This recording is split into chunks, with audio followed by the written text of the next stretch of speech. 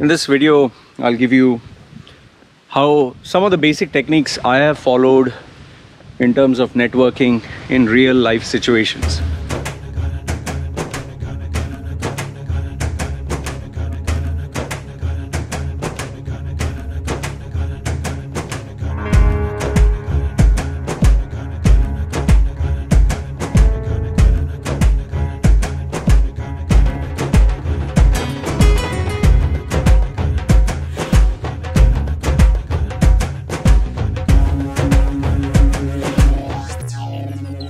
I think um, before you even go to an event, you need to ask yourself simple questions. What is your agenda? What is the agenda to go to the event? Fine, if it is networking. Now, networking with who? Do you have a specific person in mind?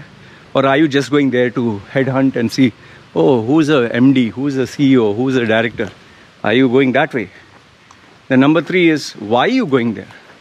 Okay, you're going there to just exchange cards, get business. You want them to buy your product, you want to infiltrate their company, or you're looking for a job. Yeah.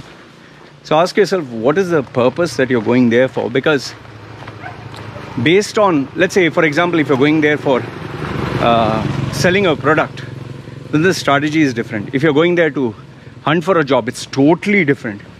If you're going there just to, um, you know, break the ice and collect people's business cards, then it's a different strategy. So, first figure out why you're going there. Getting a job, selling a product, building a relationship, or just knowing who is the who are the names in the industry. Okay, fine. The second thing, what you need to do, uh, the next thing, what you need to do, not second, is uh, speak to the uh, event organizer. The event organizer has the names phone numbers, email addresses of everyone. Now, unless you're really close to him and your relationship is very strong, unless that is there, they are not going to give you their numbers, and that is 100%. And in fact, they'll not even entertain. They might end up banning you from coming at the event. So, if your relationship is not close to them, then don't ask this. But if your relationship is good enough, it's always good to have take their get to know who's coming not take their details like emails and phone numbers. Find out who's coming at the event. Okay managing director of this. Okay check the guest list. And then once you have the guest list it's always good to collect if he can provide you with the data email and all that because if things go well you can immediately send them an email. Everything is planned out. Let's say i met the CEO of a company, and I already have his email. Uh, and uh, you know, uh, those days they used to give mobile numbers or office numbers. So there, that you don't sing just the email. And uh, after you finish the meeting, if the meeting goes out really well, and they have given you the email, then fine, send it across. Don't get his direct email if he has not sent, given you if he has given you info at so and so just send me there. Or secretary don't send it directly directorate. He'll wonder like who gave you this email address? You know so be careful how you do things there. So now figure out who's who's coming and then plan out in terms of priority out of these 10 people who are coming there number one is this guy. I have to meet this guy. Number two priority is this. Number three is this. Fine so one is you know why you're going there for a job, for business, for networking. And networking means just getting to know people. Number two is who do you want to meet and why? Okay. Then the third, I think third point you need to really ask yourself is what what is it of value that you offer this person? What like see you can't just go up to somebody and say sir i want a job. Sir i want to sell you these products. Uh, then you totally fuck it up. Okay because you're talking of what you want. It's like for example i come to you and i tell you i want $200 i don't even know you. You'll be like who the fuck are you man? But on the other hand if i were to give you something this voucher is for you or this free gift oh wow. Oh, okay. Sorry what is this? So that interest is created. So if you're offering something of value and it'll benefit them they'll be very happy. But if you go to them and ask them for a favor you just shoot yourself in the foot. Okay so you need to ask yourself what is it that i'm offering this guy? Why should this guy deal with me? Now in case you're looking for a job or in case you are uh, trying to sell them a product see remember higher the position uh, bigger the risk okay? Like if you're looking for a job don't end up meeting the ceo of a company if you're at a lower level. I have made this mistake in the past is to always target the ceos and this is read all these uh, gora publishing books how they met the ceo for the million dollar deal. Even though i was just a junior level position i has to meet them and tell them i want a job. You know i has to talk about job and impress and there's like this junior guy why am i even dealing with him remember there are levels. So if it's for a job do not try to butter or rub shoulders with the decision maker. It'll backfire. If you're selling a product figure out who's the person you should be dealing with. Don't deal with the owner because the owner will be like remember it's a one shot. If with the purchase guy you can you can afford to make mistakes but with the decision maker you cannot. Then following that ah for my baby and wifey. Say bye bye. Bye bye bye oh teddy also. Okay okay. I'll take. Nice nice. Say bye bye hmm. Hmm. drive safely huh? They're just driving inside. There's not much traffic okay um, they would not uh, drive like this on the road. This is the inside so there's nobody. I know some of you have made it a point to remind me that my wife is driving inside. This is the inside road. Anyway so okay now uh, so if if you are at a junior level don't go and meet the highest alpha male. It's it's always a dangerous risky proposition because you can say something that will totally fuck up everything. Okay then See, uh, this is the hardest question. Like, why should he deal with you? This only you can figure out. Why? 99% of the people, when I talk to them and ask them, so why should the guy meet you? He'll be like, the guy is rich, he doesn't need me. The guy is everything, he doesn't need me. True. Mostly we guys are small and these guys are big and rich and successful. So they have everything they need but here's here's what you need to uh, you know tell yourself.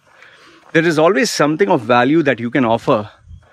So if if it's the final decision maker that you cannot offer value there's someone down the line who you can. So always choose the person who's at your level. Don't go directly to the top guy and you're not able to and if you're not able to answer the question what is the value you can offer him and second one why he should meet you? Don't spoil the relationship. Simply adding a person on your linkedin. Oh the managing director of this company. Managing director of that company.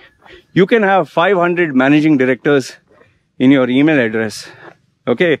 Or you can have the email address contact details. You can connect with them on linkedin. But uh, they'll be of no use to you because the day let's say you need a job or you need something they'll be like contact my junior guy. Why are you talking to me and they might end up blocking and deleting you. So always choose someone who gets some benefit dealing with you and whom you can offer some value. Don't simply go around collecting business cards. See, remember, once uh, this, I showed this on Facebook, I had 5,000, 5,000 business cards of CEOs, directors and all that. And it was in my, you know, those days we had this card holder. It was in my card holder 5,000. I never used it. And after I came to Thailand, I was like, why, why the fuck did I even collect it? So always have the answer. What value you're going to give them. Okay, it has to be very specific, measurable and precise. And why should they meet you? Okay. Now, the last bit is, okay, let's say for example you want to network with someone just maintain the relationship. Maybe in the future, maybe in the future. There's always that thought. For that, it's a long term uh, relationship. Okay. Like if they write a blog, always comment under it. If they have some work or something, always praise it. Uh, see, people like appreciation, sincere, huh? not the fake one. They like sincere appreciation. See, the mother is trying to protect the calf. She's standing here so that nobody comes near. The cow, cow was there. Now the mother is making sure nobody comes close. So she's standing in between the road and calf. Amazing, eh? Uh, animals have more humanity than human beings themselves. Anyway, okay. So, what is I saying? Um, yeah, and uh, make yourself visible. Like, let's say, for example, there's a CEO, he's going to various events, and you're always there at those events. And if you say hi or wish them politely, you know, morning, sir, good evening, sir, so nice to see you again, sir, eventually they'll remember you. Here's one secret that uh, might uh, really impact and change your life. The more a person sees you fleetingly, the more he will notice you, and these people tend to notice. So figure out a way to always be in front of their radar and then gradually develop a relationship. Don't ask them anything, don't fuck it up, and then start offering value or something. Okay, let me give you some advanced tips before we conclude this video. Uh, by the way, if you have watched this video, I will give you, if you want, I'll give you the example of one guy, Indian, who, I mean, a simple North Indian guy who managed to break the ice and connect with the CEO of one of the most powerful publishing companies to the point where the owner, this actually happened. I know this person very close. The guy offered him partnership in his company. Imagine he has multiple companies. He offered him a partnership. A guy from India came to UAE with nothing Nothing. He was a North Indian, typical onion eating, uh, cricket loving guy. That classy guy, that Gora, he offered him a partnership for millions of dollars. So if you want to know how did he do it, comment down below. If you're interested, I'll create another video and I'll share how did he break the ice. Incredible, incredible. I'll tell you, if you do what he did, guaranteed, you will get opportunity. I, I learned he, he it's it's like he copied from a playbook of uh, successful people, you know. Anyway, that's another story. So now, uh, the few tidbits that I'll give you, uh, the final bits. And by the way, to like, subscribe, and all that bullshit YouTube nonsense. Um, one is um, don't be fake. Don't be fake. Don't pretend. Be genuine. Be respectful. I'm not saying be yourself. Like if you you yourself are a stupid, irritating, noisy character, don't be yourself. Be very respectful, but don't put on. Sir, it's so nice to meet you, and don't be fake. People can see through it. That's number one. Okay. Number two is do not go to a networking event without an agenda. Have an agenda. Know who you're going to meet, why you're going to meet. Have all those answers which I give you. Number three is remember at a networking event, if you're there for one hour, 60 minutes, and you want to meet four people, that means each person you can give 15 minutes. Okay, if you want to meet five people, okay, uh, sorry, five or six, five people, each one 12 minutes, six people, each one 10 minutes. You have to calculate how much time you'll spend with each person. Next one is have the hierarchy. Who should you meet first? You know be very mindful of that. Another tip that i'll give you is make sure your grooming is world class grooming is very important and always have a man bag. I used to always carry a man bag. A man bag is a bag. It looks like a laptop bag holder but it's more like a handbag where i'd keep my toiletries from my toothbrush toothpaste um, wipes you know, perfume, this, that, everything, emergency, towel, you know, even my business cards, my pen, my smartphone, I would keep it in that because in case, let's say, something happens. Let's say you are sweating, or you need to brush your teeth, or your mouth is smelling, or uh, you need to get fresh. You have emergency. In fact, sometimes I even take an emergency shirt and tie. I would keep it in my car so that if I had to change, I don't need to go home. So have your man bag. Your man bag is a lifesaver. Just always use that. And remember, always make sure you check your face in the toilet, in the washroom, and only start networking once you're fresh. One other tip that I'll give you is one is company business cards. People have that they give in terms of a company. But I was never a fan of company business cards, so I created my own personal business cards. But here, you need to find out if you're allowed by your company to have that. If they don't allow and you give your personal business cards, you can even lose your job. And what do I mean by that is it's not uh, you freelancing for your services. Your name, mobile number, email address, uh, you know, and uh, below your name is what are you an expert in? What is your specialization? So that is very, very not don't put manager and bye bye shoo shoo. Shoo. Okay have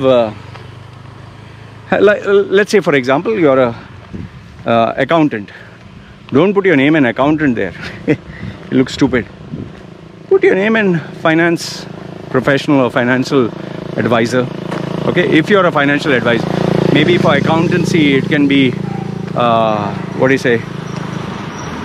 Uh, account specialist or something like that you know so have something related to your industry. If you are in QA QC, you can put QA QC professional and your uh, qualifications in a bracket. You know, don't have like a like a menu. Some people tend to do this. Behind the card, they put accounts and financials and balance sheet and trial balance. And I do this, this, this. Just your name. What do you specialize in? What is your specialty telephone number and personal. And be mindful who you give your business card to. Don't make it jazzy don't make it flowery don't put your for some people like to put a photograph and all that. It works in some places uh, but it depends. You need to use your discretion. And don't start giving your business cards to people randomly because you might even end up with one guy taking your business card and using it as a toothpick to floss his teeth. I've seen this happen and don't make your business card so expensive that people rush to take your card just to keep it you know? Give it give it a purpose because remember someone who keeps your business card uh, you know what is the reason? Is he keeping it just to show off wow this expensive card i have in my collection? If a decision maker were to do it fine it speaks volumes. And if your card has some function and let's say your trying to market yourself as a creative guy and you give your CEO uh, an amazing card that has a button and this and that and some creative function, fine, it'll make an impact. So just be mindful of the fact who you're giving your card to and have personal cards as well as business cards and based on the rapport that you have with people, decide to use which one. I'll give one last final tip at an event, if you are the person who can do something as a participant, you can give a presentation or you can give a seminar or you can give something of value, automatically you stand out from the rest. I used to do this at every event. I used to offer my services for business branding or personal branding, and I used to tell them, see, listen, I charge two thousand you know dollars or whatever the price tag was that time to conduct a talk for two hours on business branding, I can give you free value. And these are the things I can give free. Sometimes I to even bring giveaways and as to hold something which would enhance the value of the event. So then there's to feature me as a speaker. When you're positioned as an authority or a speaker, automatically people get drawn towards you. And you can use that to your benefit or leverage. So yeah, remember end of the day we are all trying to get some benefit from people. Something that will benefit us something that will help us. Everyone wants something from someone. If you can answer the question what benefit this person will get dealing with you? And you're able to give oh yeah one one last one last point I forgot to tell you. Have your 30 seconds, 1 minute, 3 minute, 5 minute, 7 minute, 15 minute, 30 minute sales pitch ready. And it shouldn't sound like a sales pitch. You should know what to say. Like when you meet the person, you met the person, what is going to be your introduction? Don't fucking give the same, hi, my name is, uh, what do you say, Ben, Ben uh, Askren. I'm the sales executive of this company. It's such a boring, forgettable introduction. Have something that stands out. I used to have an amazing one-liner. People to always after listening, what, what? Tell me, tell me again. if you don't know what it is, comment down below. I'll tell you that secret. Just always have these one one-liners or the stuff that people are, wait, wait, tell me again, so that interest is to generate. Anyway, let me know if these tips, tricks, and strategies offered value. I have advanced level, but you know, let me save it for another day. So you let me know what are your thoughts. Did this video offer you any value? Which one was your favorite tip? And uh, if you'd like to know more especially that example which i told you that guy got the billionaire millionaire multi-millionaire who wanted to keep in touch and yes what was that magic secret i did that people is me, wow all right this is me signing off guys take care over and out